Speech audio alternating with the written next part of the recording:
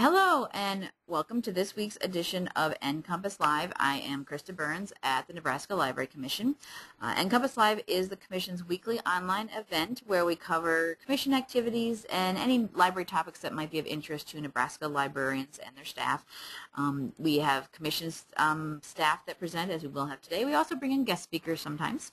Um, we do these sessions every Wednesday morning at 10 a.m. Central Time. They're free for about an hour or however long we last.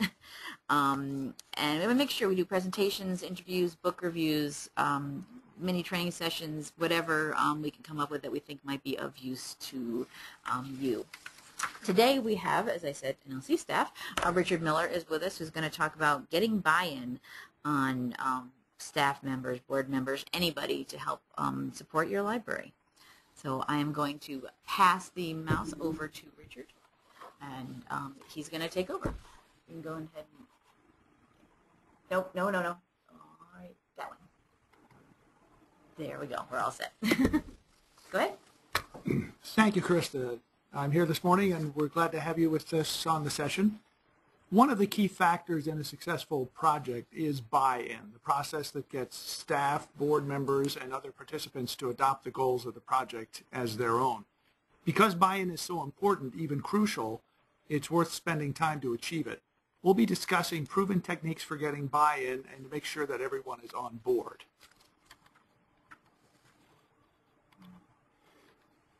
Is it progressing? There we go. So an outline of the presentation today. First of all, we'll have a definition of buy-in. We'll have uh, pertinent quotations scattered throughout the presentation from various and sundry people. I'll share some ideas with you from the business world on buy-in and then some ideas from the library world on buy-in. And finally, we'll have a chance for some questions at the end here. First of all, definition of buy-in. Buy-in is the process of gaining people's understanding, commitment, and action in support of your goals.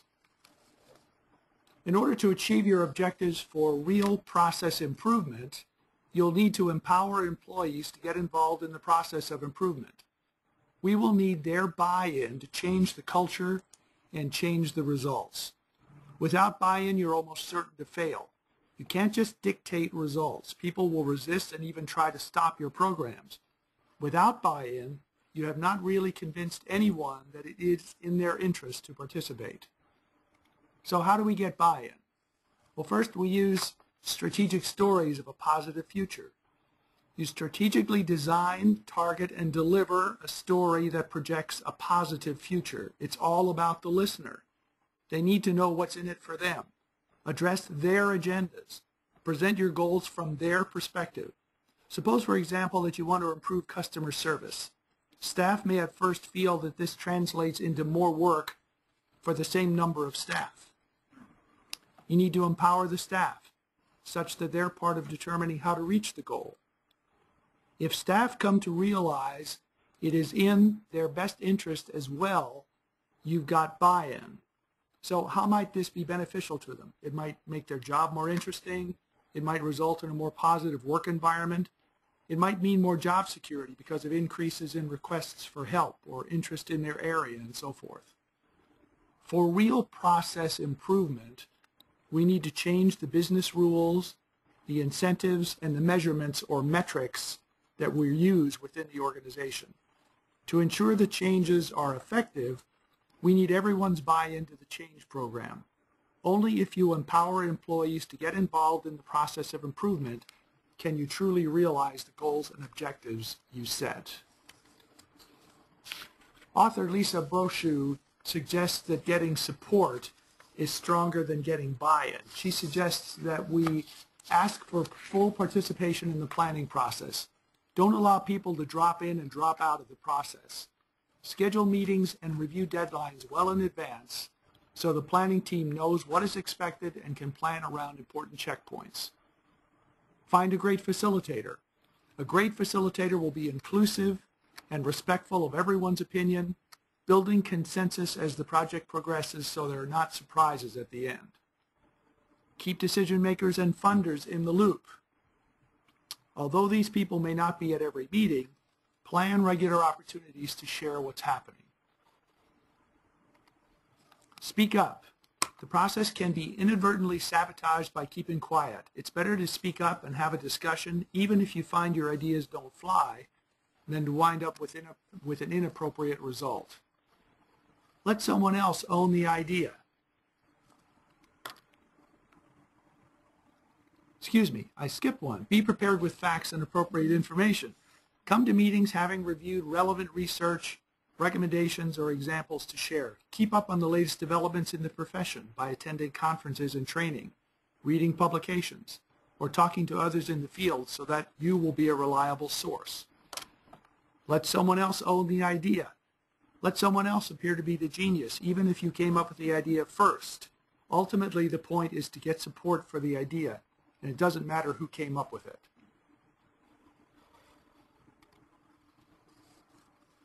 I'm going to read this to you, even though you're not supposed to read what's on the screen.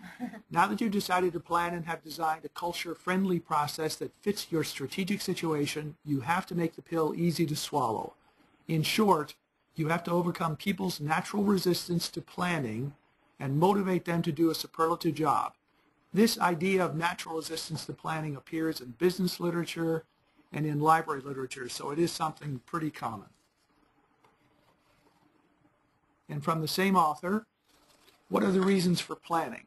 These are the reasons that are usually accepted by most employees according to this author, although this may be debatable, as you see the list here. First of all, the reasons for planning. Because it secures the future, it provides a roadmap, it sets priorities, and it allocates resources. I have a few other things from this author as well, and I think I'll just have you read them instead of my reading them to you. These are the other points that he says are reasons that most people are accepting of planning. And just take a few minutes to scan through those.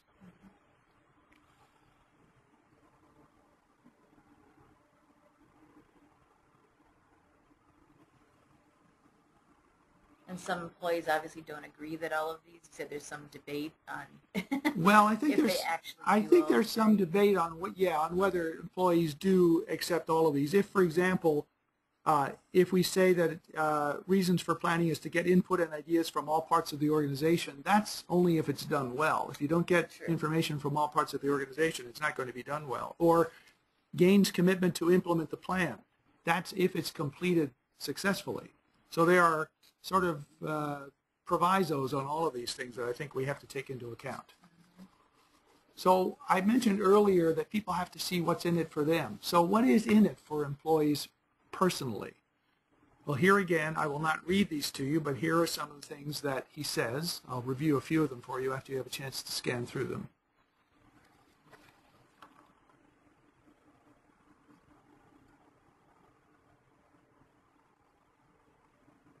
The first one, what's in it for employees personally, resources to do what they want if they plan, and if what they want to do is part of the plan, I think is an important part. And then financial rewards, I think we probably all laugh at that in libraries because that's probably, maybe not so much in libraries, but this is again from the business world. So what do we do to overcome resistance to planning? Again, I'll let you read through these and then we'll uh, talk about some of them.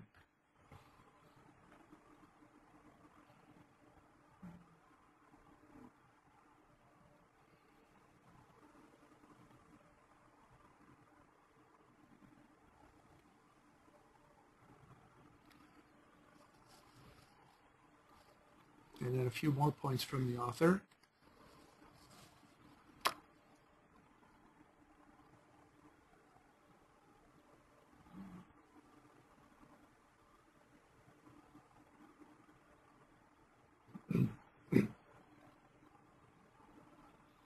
The first one, which says remove barriers and provide resources. It really does take commitment to the process. You must put resources into a planning process if you ever hope for it to succeed. The idea of identifying early tangible results and publicizing and reinforcing these is also very important because if you build on early successes, that can really help to bring the planning process to a successful end. And um, establishing a tolerant climate that accepts and learns from mistakes is also an important point because this allows for experimentation and failure. This, as much as anything, will help ensure that people will feel supported when they try new approaches. If people are punished for making mistakes when they're trying something new, you're not going to have very good feedback on the planning process. Here are a few more thoughts from the author. Communication is only the first step in obtaining organization buy-in. Don't expect complete buy-in or as complete as you ever get in a change process until after you have finished training, assigned accountabilities, obtained significant results, rewarded heroes, slighted non-performers, and proven management's continued commitment to the process. And here's a statement I think you'll find interesting for the business world. Accomplishing all this takes at least one and a half to three years for a small company. And even after planning is underway, the need to communicate does not diminish.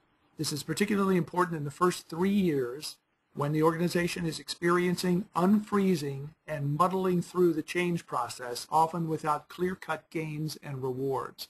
I think his comments are really instructive on how long planning does take.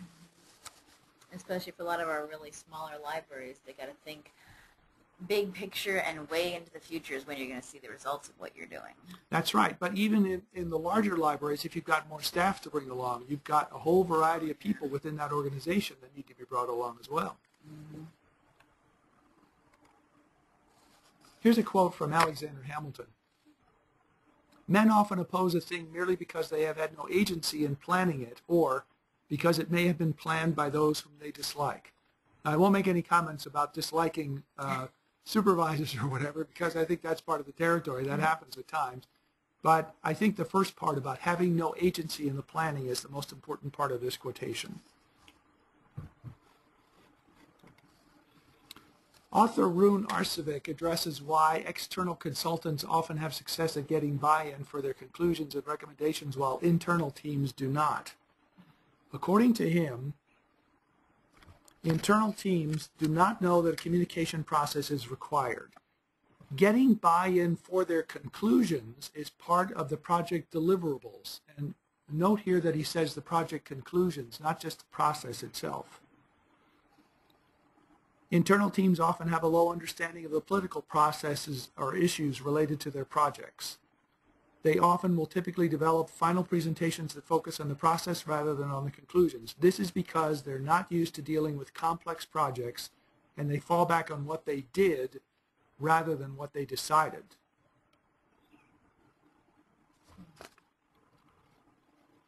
And more comments from this author. Internal teams usually do not have any experience dealing with group processes that typically should take place with it, within a steering committee.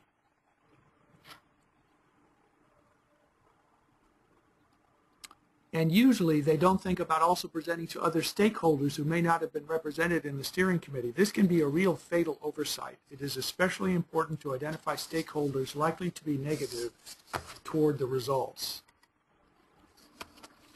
Again, a quote from the business world, three simple steps will, will multiply your chances of success. How do I get buy-in for this project? Involvement, involvement, involvement.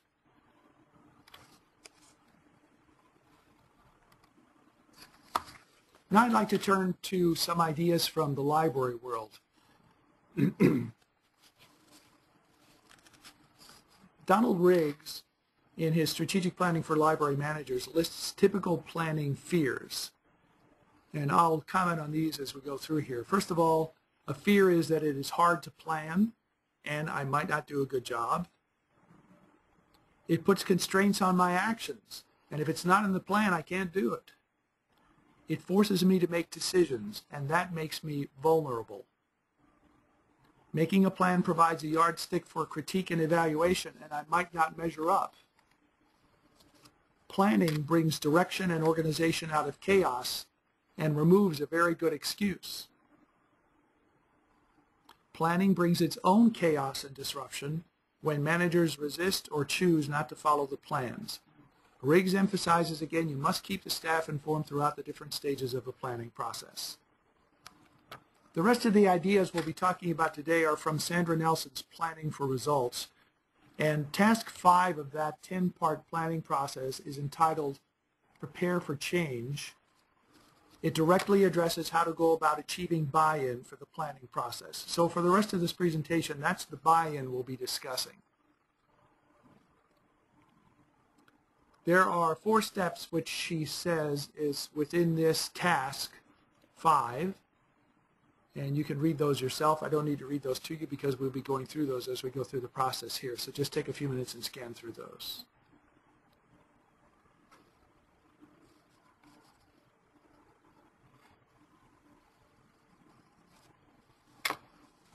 Nelson emphasizes that these steps can be initiated any time in the planning process before task six and later steps, which include things such as setting the mission and goals and objectives and so forth. Let's take these steps one at a time. Step 5.1, assess the library's readiness for change. She defines change readiness as the current beliefs, attitudes, and expectations of staff regarding the need, value, and probable result of a change, major or minor. She notes that uh, library staff are generally not enthusiastic about change, and in this they appear to mirror workers in other organizations and industries. Staff are inclined to greet every change, no matter how minor, as a crisis. She tells the story of a group of office workers who were asked to, to list what might cause them the most stress in the workplace. The top concern changing their office chair. she also notes a few other corollaries. She says the change that affects someone else is less traumatic than change that affects me. Changes that will alter things that have been changed recently may be harder to implement than changes in things that have been unchanged for a long time. And past experiences with similar changes will also affect the staff's attitude about the current change. She says that one can measure change readiness by gathering information, most of it anecdotal, on staff feelings, attitudes, expectations, and past reactions. The information will focus on the following. Previous planning processes and recent major changes. Under previous planning processes, this is especially significant in the way any preceding planning processes were managed. For example, uh, a plan that was developed without any staff input is probably not well supported by the staff. If asked, could staff point to any changes that resulted from the strategic plan? If staff members have seen no changes that can be attributed to the most recent strategic plan, they are unlikely to believe that the plan you are developing will make any difference in the future. Under recent major changes, if your recent change efforts have been successful, you're in a stronger position when you initiate a new planning process. The organizational culture is very important. These shared assumptions and beliefs, which evolved over time, are difficult to change quickly. A risk-taking environment, which I think you uh, heard about when we were talking about the business plans. A determination of the degree to which the library supports risk-taking is a critical part of your assessment of change readiness. Staff morale is also important. This also affects the library's change readiness, but it's more personal than institutional and is somewhat easier to modify than the library's organizational culture. And staff reactions to change are important as well. Nelson says that staff tend to be divided into four groups. There are those who enthusiastically support change, which is about 10 to 15 percent of the staff those who are relatively positive about change, those who have reservations about change, and those who actively oppose change, another 10 to 15% of the staff. And according to her, change battles in most libraries are won or lost with the middle 70% of the staff. those That are like is- swing votes. Those are the swing votes. This is the centrist vote. That's right. If you're talking about politics, we were talking about politics earlier. That's exactly right. So these in the middle, those who are relatively positive about change and those who are reservation about change are the ones that in that 70% of the staff. If you wait until 100% of the staff affected by a change agrees on something, you will never carry out any change. If you wait even for 75% of your staff to agree on something, you are still unlikely to do it.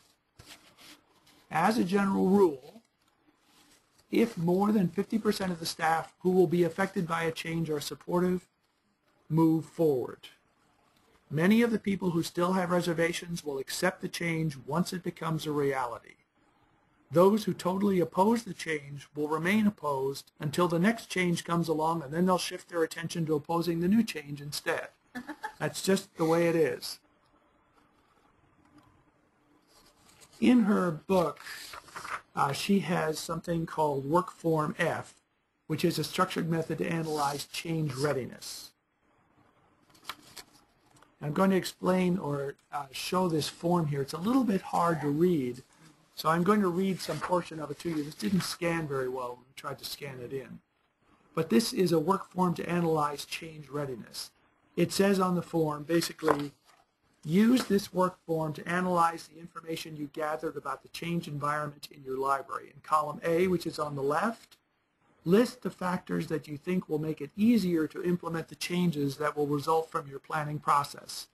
And then use a scale of 1 to 3 to indicate how critical this factor is to creating an environment that will support change. If it's minimal, give it a 1. If it's moderate, give it a 2. And if it's significant, give it a 3. In column C, list the factors that you think will make it difficult to implement the changes that will result from your planning process. And using again that scale of 1 to 3 indicate how critical this factor is to impeding an environment that will support change. What she recommends that you do is to have senior staff complete this form on their own and then individually, and then get together to create a composite work form that lists and weighs all the factors supporting and impeding change. This is a really good uh, exercise to go through, and I think you'll find it very useful. So again, you can get the book. We have multiple copies of this book in our collection here. You can get a copy of the book to look at this and actually Well, read yeah, the I was form itself. I assume all these books Yes. you're using, you can, Yeah, we, information about we have these, and each of the system offices has a copy as well. Step 5.2, plan to create a positive environment for change. She uh, lists two ways to do this, either eliminate or minimize the factors that impede the change environment or add to or enhance the factors that support creating such an environment. And those, that work form F will give you an opportunity to identify those and perhaps deal with those in your, in your setting. She makes a point here that's very interesting, though. If you look at this, you can try to eliminate those that will impede, try to enhance those that will support. But what she says is that managers often put more of their energies onto the negative side of this equation, which is not always the most effective approach. The most successful efforts might be those that accentuate the positive. That's like the old song, accentuate the positive. Remember that uh-huh. song? Okay. Yeah, positive reinforcement, not negative. Positive reinforcement, that's right. So put more of your energies on the positive side. So how do we accentuate the positive? Well, if there was a previous plan, identify the three most positive changes that occurred. She suggests appointing a cross-functional team to work with the staff in each unit.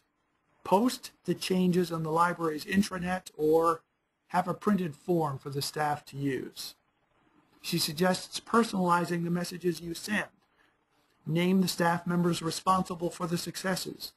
Give specific examples of successes. Include testimonials from users. Use photos if possible. Celebrate the staff members' achievements. Work with senior management to develop talking points that capture the group's positive feelings about the planning process. In this, you should encourage senior staff to use these to describe the planning process when talking to other staff. Don't be afraid to repeat things again and again and again. You really have to do that if you're going to bring about a change process. How else do you accentuate the positive?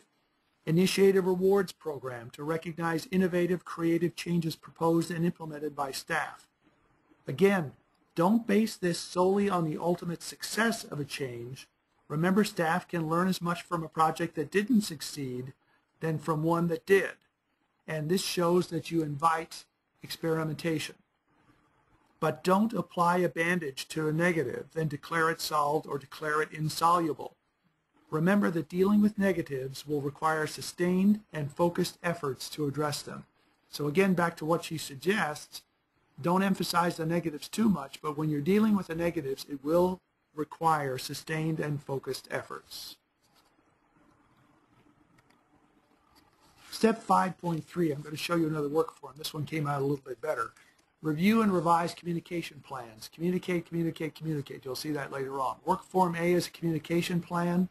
I think you can read this pretty well. This is a filled out one.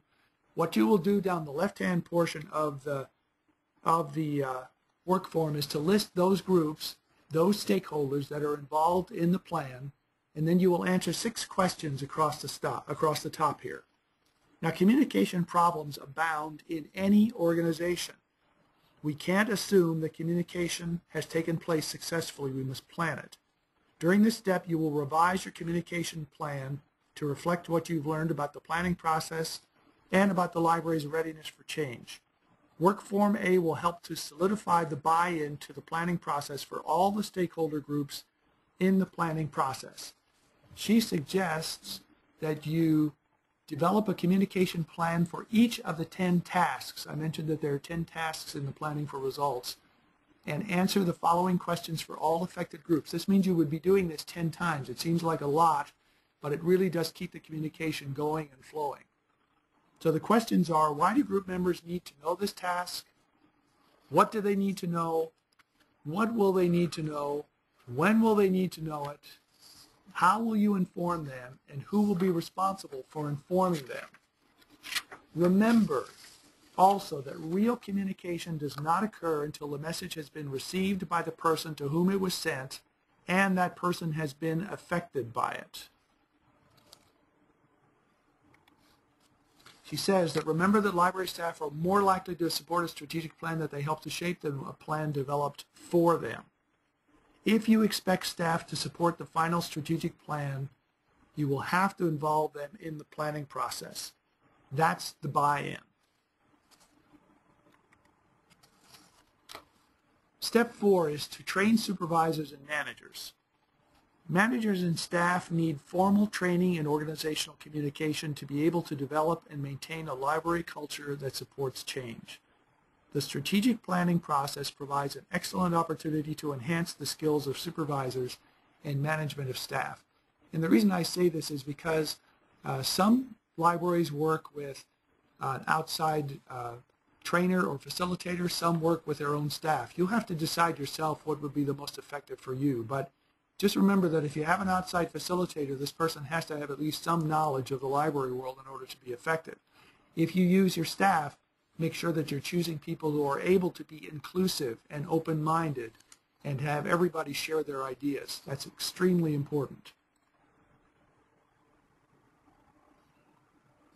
The training could be designed around the projects identified in step 5.1, the readiness to change step, and thereby appear more pragmatic than theoretical. And I didn't go over point two here because I just sort of described it as we were talking about point one. Any training that you provide should be learner focused, should model productive behavior and effective skills, should inspire and motivate, and here's that word again, should celebrate personal and group achievements.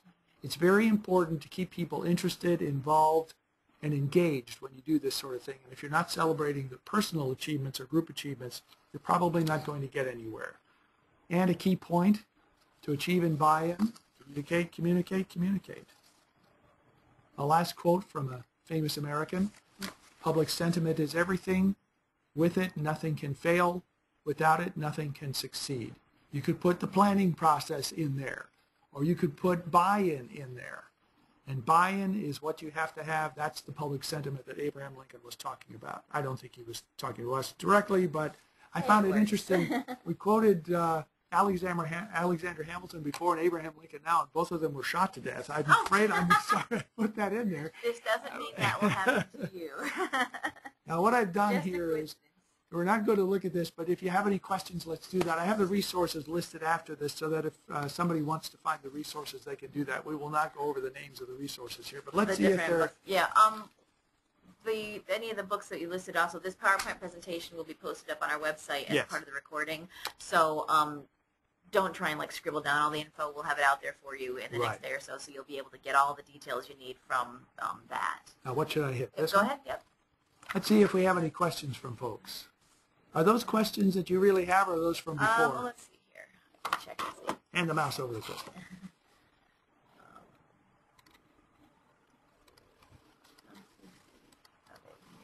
So does anybody have any questions? Um, I can, I'm not sure who may have a microphone or not, but I can unmute you all and we'll see if anyone does have any questions. Um,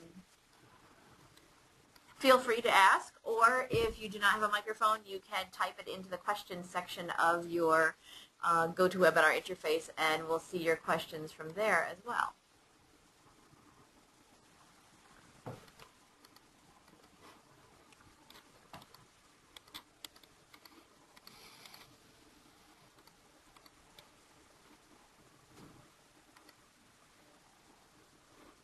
So any questions or comments or suggestions on how you might have done this if you've been through this process?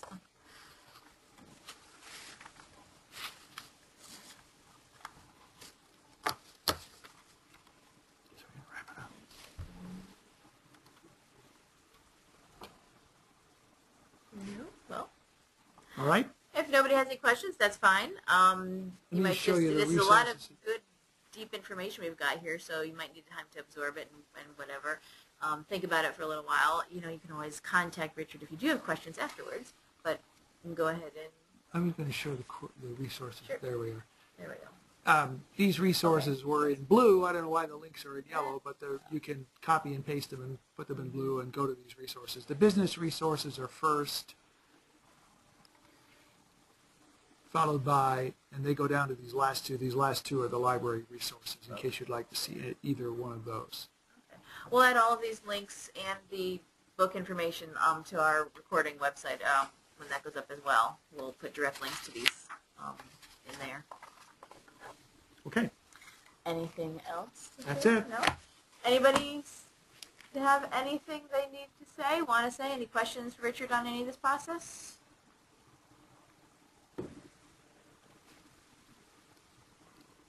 Give them a chance to see if they're typing or anything. Right.